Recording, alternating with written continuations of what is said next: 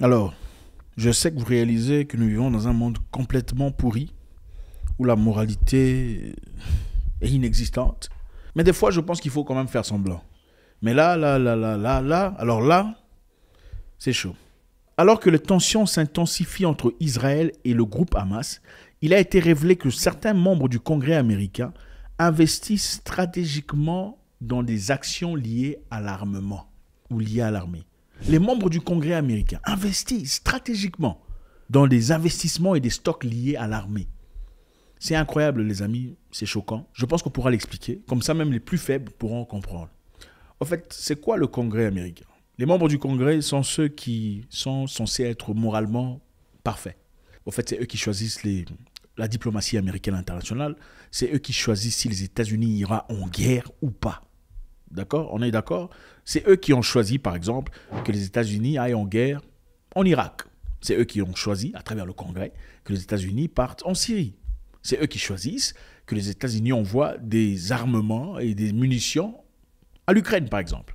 Donc les membres du Congrès américain sont censés être des gens moralement parfaits, des gens sages, des gens qui choisissent la bonne direction. Ce qui est vraiment choquant et bouleversant, c'est de comprendre et de réaliser qu'ils sont en effet en train d'investir dans des stocks liés à l'armement, les stocks liés au complexe militaro-industriel. C'est-à-dire, le complexe militaro-industriel, c'est simplement un groupe d'entreprises qui produisent des armes. Ah oui, quand on dit que l'Amérique envoie des armes à un pays, par exemple, on essaiera de faire très simple. Ce n'est pas les États-Unis qui envoient des armes. Ce sont les entreprises privées situées aux États-Unis qui envoient des armes. Les États-Unis achètent des armes venant des entreprises privées aux États-Unis et envoient à l'Ukraine, par exemple, pour combattre. Ces armes ne sont pas gratuites, l'Ukraine va devoir rembourser cette arme. Les États-Unis achètent des armes à travers l'argent du contribuable, l'argent de taxes, et prennent des armes, envoient à l'Ukraine. L'Ukraine achète les armes aux États-Unis avec intérêt. Et cet argent est déversé aux entreprises privées. Vous comprenez? Maintenant, depuis que la guerre a commencé en Israël, les gens du Congrès sont en train d'investir dans les stocks. Et les stocks sont en train de grimper de manière incroyable, comme jamais dans le passé on voit depuis deux jours des augmentations incroyables. Lockheed Martin en hausse de 9%. C'est-à-dire, vous faites des investissements chez Lockheed Martin, vous avez 9% de bénéfices. Si vous en faites 20 millions de dollars, 9%, c'est combien? C'est beaucoup d'argent. Northrop Grumman, hausse en 11%. Raytheon, hausse en 5%. Depuis la guerre a commencé en Israël. Maintenant, où se pose le problème? Le problème est que ces mêmes membres du Congrès c'est bien eux qui choisissent si on fera la guerre ou pas. C'est eux qui choisissent si les États-Unis vont envoyer des armes ou pas. Mais ces mêmes personnes investissent aussi aux mêmes entreprises qui produisent des armes et des balles et des missiles. Vous voyez là où se pose le problème. Donc nous, membres du Congrès, au lieu par exemple de dire non, là où il ne faut pas la guerre, on dira oui, on veut la guerre. Pourquoi? Parce qu'on a déjà investi notre argent dans le complexe militaro-industriel. Maintenant, comment ça marche? Les complexes militaro-industriels, qui sont ces entreprises de vente d'armes, Lockheed Martin, Raytheon, Boeing aussi vend des armes, et tout le reste, dès le départ, sélectionnent le genre de politiciens avec qui ils veulent travailler. C'est-à-dire, vous êtes politicien, vous n'avez certainement pas d'argent pour devenir un très bon politicien. Ils viennent, ils disent, OK, on va faire du lobbying. le lobbying, pour ceux qui connaissent, c'est venir convaincre quelqu'un moyennant des moyens, moyennant de l'argent. En Afrique, on appelle ça corruption. Oui, en Afrique, quand tu donnes de l'argent, on dit corruption. Aux États-Unis, quand vous donnez de l'argent, on appelle ça lobbying. Donc c'est pour nettoyer. Nettoyer, c'est pour faire propre. Lobbying, c'est corruption en américain. Alors, ces entreprises de vente d'armes vont voir des politiciens proéminents, dites, OK, on va vous donner 20 millions de dollars, d'accord, pour gagner votre élection, de gouverneur ou autre chose, ou euh, en congrès. À partir du moment où vous êtes en position de force, aussitôt que vous pouvez, renvoyez-nous l'ascenseur. C'est-à-dire, s'il y a possibilité, et que nous sommes une entreprise de vente d'armes, il y a possibilité quelque part de faire la guerre, vous, il faut choisir quoi? Il faut choisir la guerre. Parce qu'en choisissant la guerre, nous, on fait des gains.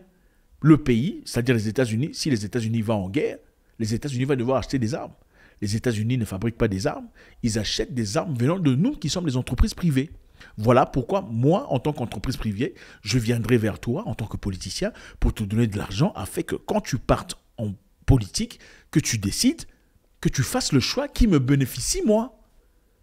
Maintenant, est-ce que vous pensez que c'est moralement correct pour une personne assez âgée Évidemment, les gens du Congrès sont considérés comme des gens sages. Est-ce moralement correct qu'une personne au Congrès puisse investir dans des stocks du complexe militaro-industriel? Ça n'a aucun sens. Ça veut simplement dire que ce sont des gens qui font de l'argent tant qu'il y a la guerre.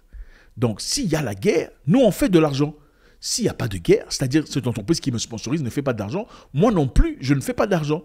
La deuxième façon de gagner de l'argent pour eux, c'est quoi? C'est en plus de l'argent qu'ils reçoivent dès le départ, avant d'entrer au bureau gouvernemental ou diplomatique en tant que politicien, ils peuvent aussi acheter des parts de l'entreprise. C'est-à-dire, même si je suis assis en politique sans faire quoi que ce soit, sans lever le doigt, du fait que j'ai investi mon argent dans cette entreprise qui fait la guerre, à chaque fois que le pays est en guerre et que cette entreprise envoie des armes, des missiles, des avions, moi aussi je fais mes intérêts. Donc, chaque investissement effectué chez Lockheed Martin aujourd'hui, chacun a gagné 9%, les membres du Congrès. Chaque investissement effectué chez Northrop, chacun a gagné 11%. Chaque investissement effectué chez Raytheon, chacun a gagné 5%. Maintenant, dis-moi qu'ils ne voudront pas de la guerre. Vous comprenez maintenant pourquoi la guerre en Ukraine continue? Parce qu'évidemment, il y a des gens qui se font beaucoup d'argent. Un diplomate international a récemment dit que la guerre est un très bon business.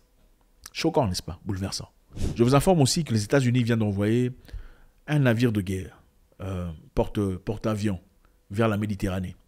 Beaucoup de personnes ont posé la question de savoir pourquoi est-ce qu'ils veulent s'impliquer à la guerre entre Israël et la Palestine.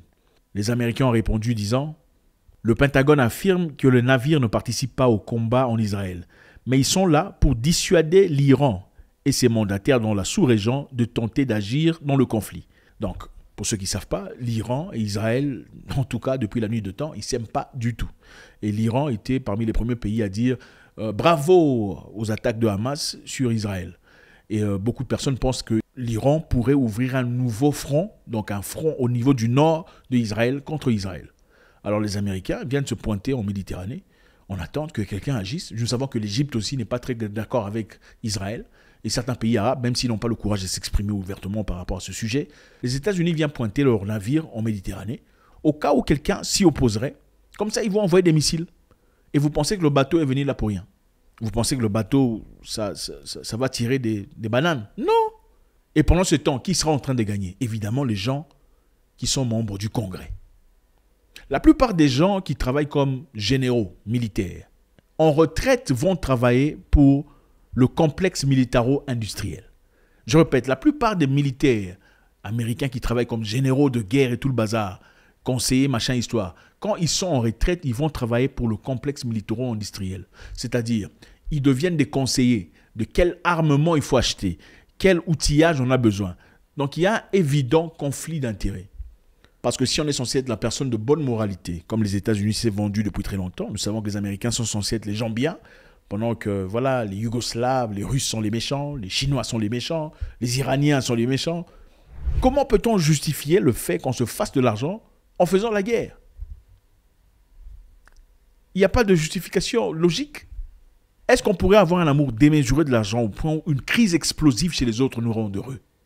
C'est possible avec le capitalisme. Je pense qu'on a compris. Encore une fois, les membres du Congrès américain, on vient de découvrir, sont en train d'investir dans les stocks du complexe militaro-industriel. Rockheed Martin, Raytheon et j'en passe. Ce sont des entreprises qui créent des fusils, des missiles, des tanks, des explosifs, des bombes et tout le reste. Les États-Unis ne créent pas des fusils, des missiles, des bombes, des tanks et tout le reste. Ce sont des entreprises privées qui le font. Ces entreprises investissent dans des politiciens. Ils leur donnent de l'argent. Ces politiciens votent les lois. C'est-à-dire, nous irons en guerre ou pas. C'est eux qui décident. Donc, une entreprise qui crée des armes, investit chez un politicien qui vote les lois selon lesquelles les États-Unis iraient en guerre ou pas. Le politicien voterait-il pour la paix? Point d'interrogation. Si le politicien, en plus de cela, de recevoir de l'argent venant de ces entreprises, peut aussi acheter des parts de ces entreprises, c'est-à-dire à chaque fois qu'il a monté dans les stocks, il se fait aussi de l'argent, y aura-t-il la paix sur Terre ou pas? Merci infiniment les amis, je sais que vous êtes très intelligents, faites-moi savoir ce que vous en pensez. Euh, votre contribution est toujours très nécessaire. Je pense que nous sommes peu à peu à aller vers la très bonne direction. Quelqu'un d'intelligent disait, c'était Bob Marley, You can fool some people sometimes, but you can't fool all the people all the times. God bless.